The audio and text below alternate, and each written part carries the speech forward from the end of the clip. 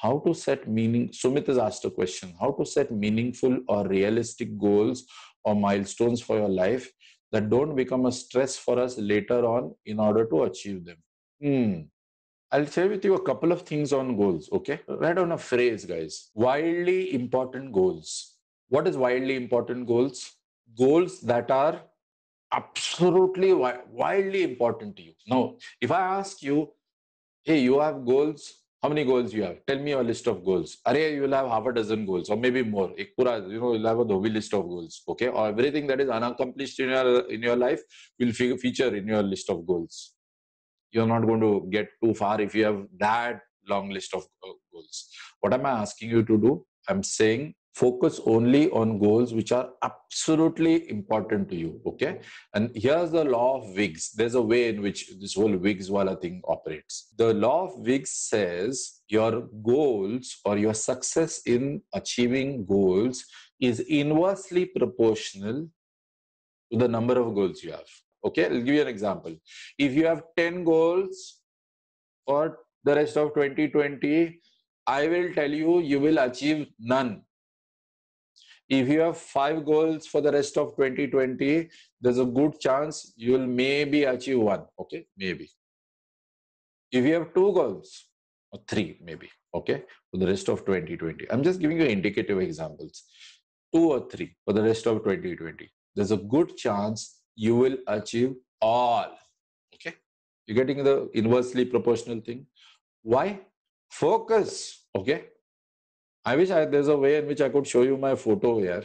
I lost 30 kilos last year, 2019. Okay, in 10 months, 30 kilos. How come I lost 30 kilos last year? That was my goal. Because I didn't have any other goal.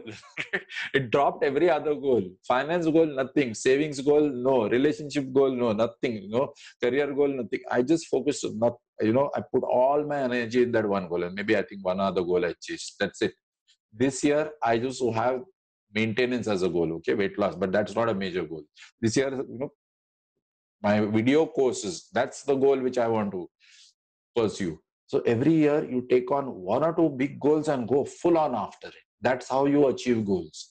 Most of us, we lose it because we are trying to chase too many goals at the same time. Okay.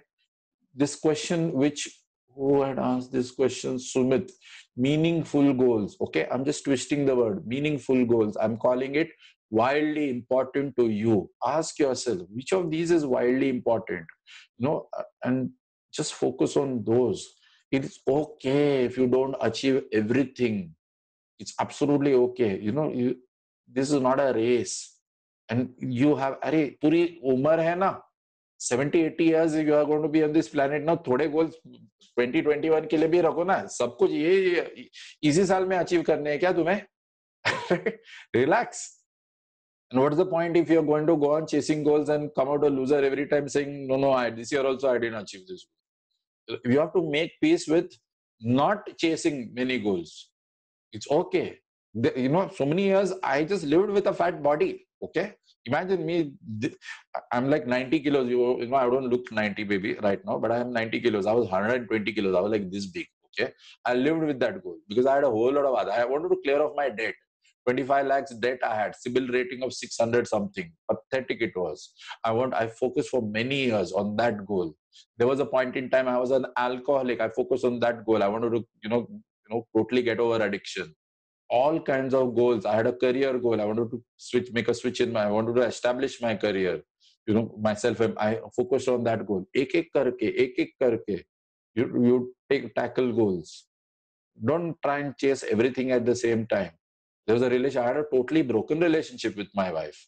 A couple of years I gave to that goal, you know, and it works out every you have to be a big game player take big goals just focus on a couple of goals at a time